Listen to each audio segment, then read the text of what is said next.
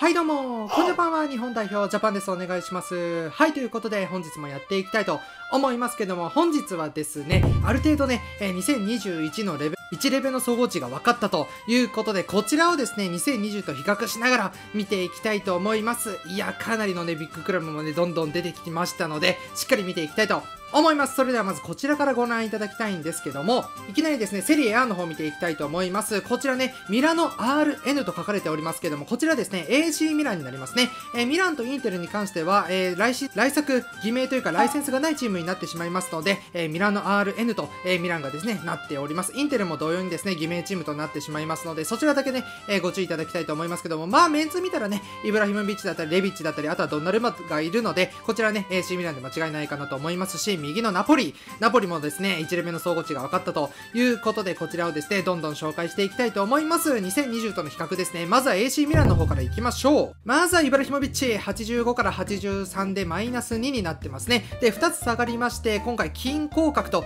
なってしまいました。まあ、黒玉からね、え2つ下がって金降格という形になっております。で、レビッチに関してはですね、2020と、えー、ポジションが違うので、82から83で1つ上がっているかどうかはですね、えー、ポジションがわからないので、ここら辺ね、えー、ハテナと書かせていただいておりますね。で、カスティジェホは81から80でマイナス1。で、ラファエル・レオンで77から78でプラス1ですね。えー、注目の若手の選手かなと思いますけども、能力値にかなり期待ですね。で、ミッドフィルダーはチャルハノール、ケシエ、ビリア、こっちから辺の選手がですね、えー、本登録2020と同じ本登録ではないので、ハテナとさせていただきました。まあ、ベナセルが、えー、3つ上がって、ここら辺がね、評価されている選手かなと思いますけども、ディフェンダーですね。ディフェンダーに関しては、ロマニョーリが1下がって金降格で、シモンケアがね、2下がって銀降格、そしてドゥアルテがね、1下がって同降格となっておりますので、まあ、ここら辺ですよね。特にミランに関してはロマニョーリだったりシモンケアの降格っていうところはかなり痛い部分なのかなと思いますし、このロマニョーリに関しては FP で来た際にも全然ガチスカで使える選手でしたので、この金に降格したっていうところは若干ネックな部分であるかなと思いますけども、ただ金最大の総合値を持っているので、ここら辺は金スカットだったりですね、そこら辺でかなり期待してるんじゃないかなという予想もできますね。えー、そしてゴールキーパー見ていきましょう。ゴールキーパーに関してはドンナルンマ、1つ下がって金降格となってしまいました。これはですね、かなり痛い部分かなと思いますが、ただですね、プラスに考えると、やはりこちらも金スカットで使っていけるというところを考えれば、ドンナルンマがですね、金スカでね、えー、かなり猛威を振るんじゃないかなという思いますし、2019以来ですね、それは。ということで、以上がですね、AC ミランの1レベの総合値でした。で、続きまして、ナポリの方、ナポリはフォワードから見ていったときに、まあ、メルテンス、インシーネ、カジャホン、まあ、インシーネ1下がっておりますけど、まあ、ここら辺はあまり変わりないですね。で、ミリクは1上がっていたり、ポリターノ1下がっていきます。で、ロサーノもイルブイン・ロサーモンね、えー、3つ下がってますね。で、ミッドフィルダーはファビアン・ルイス1上がりました。まあ、スペイン代表にも選ばれておりますし、ファビアンにはかなり期待しているところなんですけども、アランですね。アラン、えー、金降格となってしまいましたが、まあね、移籍が決まっています。エバートンに移籍が決まりましたけども、今回はナポリの選手としてね、紹介させていただきたいと思いますが、1下がって金降格となっております。ただですね、こちらも金最大の総合値持っておりますので、金スカだったりで言うと、アランめちゃくちゃ強い選手になっているんじゃないかなと思いますし、あと FP で出た時のね、上がり幅にかなり期待してる部分が多いかなと思います。で、まあ、ディフェンダーね、クリバリが1下がって87になっていたり、まあ、ここら辺はちょっと残念なところですね。で、ゴールキーパーメレット、スピナーは下がっておりませんし、カルネジスが1下がったというような形になっております。で、続きまして、マンチェスターユナイテッド、そしてアーセナルということで、こちらも見ていきたいと思いますけども、まあ、ユナイテッドもアーセナルもですね、ある程度ね、総合値が出てきておりますが、しっかり見ていきましょう。まずはユナイテッドの方から見ていきたいと思います。えー、まずご覧の通りですね、まあ、ダニエル・ジェームスがね、プラマイゼロとなっておりますけども、こちらもですね、ポジションがね、本適性同じものではないので、えー、ここら辺わからないんですが、グリーンウッドですね、で注目の若手、グリーンウッド、まあ、イングランド代表では少しお遊びが過ぎるかなというところもありましたが、えー、6つ上がって銀昇格となりました。これはめちゃくちゃ強そうなグリーンウッド見れるんじゃないかなと思いますし最終盤で出てきたグリーンウッドの FP めちゃくちゃ強かったので、えー、今回のこのグリーンウッドの2021の FP にもかなり期待している部分ですね。でミッドフィルダーはね、まあ、ご覧の通りブルノ・フェルナンデスだったりポグアはすでに出ています。まあマティッチもそうですね。ここら辺出ている選手なんですけどもフレッチだったりマクトミネまたアンドレアス・ペレイラリンガードここら辺が出てきました。特にリンガードに関しては5も下がりましたね。まああまり試合に出ている印象もなかったですしまあただ試合に出たらですねまあいきなりゴールを決めるというようなな印象も持っている選手なんですけども、ただ今回に関しては5下がって銀行格と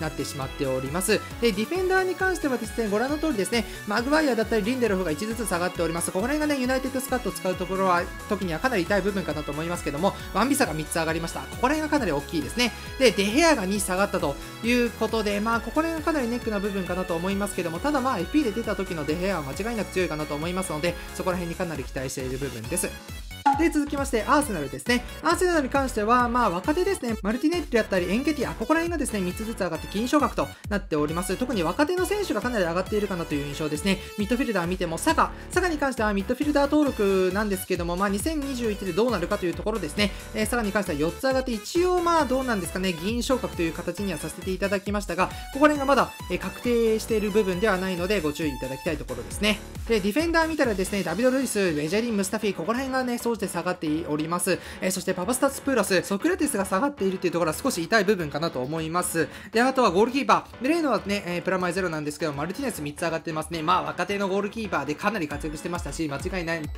続きまして、パリ・サンジェルマン見ていきましょう。パリ・サンジェルマンかなり期待していたんですが、ご覧の通りですね。まあ、まあ、チャンピオンズリーグ決勝のですね、まあそこまで反映されていませんし、アップデートの後にまた総合値変動あるかなと思いますけども、ご覧の通りとなっております。まあ、ムバッペ1上がってますね。まあ、もともと強いんですけども、さらに強くなったムバッペがね、2021年を見られるんじゃないかなと思いますし、イカルディにカバーには1と2ずつ下がっております。で、サラビアに関しては登録ポジションがね、変わっておりますけども、まあ、ベンチに入っていたので、ここは間違いないかなと思いますね。で、問題というか難しいところになってくるんですけども、ネイマールとディマリア、こちらはですね、両方とも左ウィングだったり右ウィングの選手なんですけども、今回 OMF で90だったり85ということになっておりました。ですので、ハテナという形にはさせていただいております。で、ディフェンダー、マルキーノスが1上がっておりますね。まあ、間違いない活躍かなと思いますし、今回はセンターバックでマルキーノス1上がったという形になっております。まあ、個人的にはね、DMF のマルキーノスを見てみたいところだったんですけども、ゴールキーパー、ナバサ、プラマイゼロ、リコが1上がっておりますね。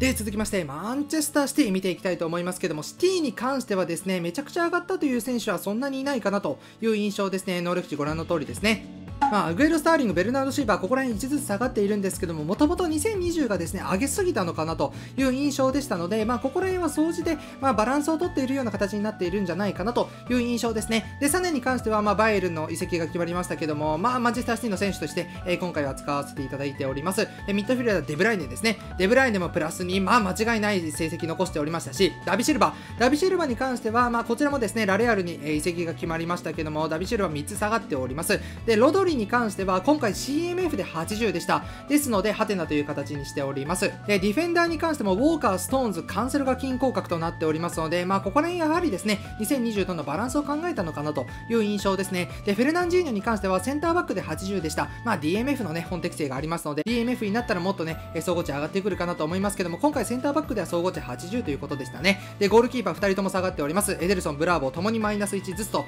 いうような形ですね。で、続きまして、チェルシーとリバプールということで、まずチェルシーの方を見ていきたいと思いますけども、チェルシーに関しては、まあご覧の通りですね、ウィリアンがね、クレオから金に変わっているというところだったり、バチアイもね、銀行格となっているというところはかなり痛い部分かなと思いますけども、まあ逆にですね、プレシッチもう少し上がってもいいのかなという印象でしたね。で、ミッドフィルダーのね、マウント、マウントに関しては CMF で78でしたので、本適性がね、OMF の場合は総合値もっと上がるかなと思いますし、アスピリクエータ金甲格ですね、これは少し痛い部分かなと思いますが、ただアスピリクエータに関しては金のね、スカットでかなり活躍してくれるんじゃないかなという印象です。そしてゴールキーパー、ケパ。まあ、ケパに関してはね、まあ、チェルシーの一番ナンバーワンの移籍金で、成績がそこまで出なかったっていうと、出なかったっていうところが、出なかったっていうところがね、少しネックな部分かなというところで、今回金降格になってしまいました。で、続きまして、リバプール見ていきたいと思いますけども、リバプールに関してはですね、ご覧の通りですね、こちらも2020とちょっと、え、バランスを取ったのかなという印象です。ただ、その中でもワイナルドゥムとヘンダーソン、この2人に関しては1ずつ上がって黒昇格となっておりますね。ここはかなりありがたい部分かなと思いますし、FP で出た際の能力値かなり期待ですね。そしてフォワード、エリオット。エリオットに関しても同昇格しておりますので、ここら辺の能力値の上げ幅にかなり期待している若手の選手ですね。で、ラストはですね、日本とバルセロナ見ていきたいと思いますけども、日本の方はですね、また別の動画でまとめていきたいと思います。で、日本に関しては大迫だったり、ここら辺の選手が顔写真がね、搭載されているというところが個人的にかなり熱い部分だったんじゃないかなと思いますし、え若干見てみると、久保選手がね、75ステイということになっております。で、伊東純也選手が今回銀昇格となりました。これはかなりありがたい部分ですね。で右のねバルセロナの方見ていきたいと思いますけどもバルサに関しては結構下がったなっていう印象ですね。ただフォワードのコジャド、え、10上がって銅昇格となっていたりリクプッチ、え、銀昇格となっているところは個人的にかなり嬉しいところだったんですがビダルが金降格していたりですね。スアレスグリーズマンデンベレここら辺がマイナスとなっているというところはかなり痛い部分かなという印象ですね。あとはピケのマイナス3もかなり痛い部分ですね。はい、ということで本日はですね、こちらのビッグクラブのね、え総合値見ていきましたけどもいかがでしたでしょうか？最後にですね、こちらを紹介していきたいと思いますけども、新しい FP の、え背景写真がですね、公開されたということで、今回は緑色ですね。いや、紫から緑に結構変わりまして、これもね、まあ、新しい感じもしつつ、2021にかなり期待している部分ですね。はい、ということで本日はここら辺終了していきたいと思います。最後にチャンネル登録と高評価ぜひよろしくお願いします。ではまた次の動画もぜひご覧ください。では。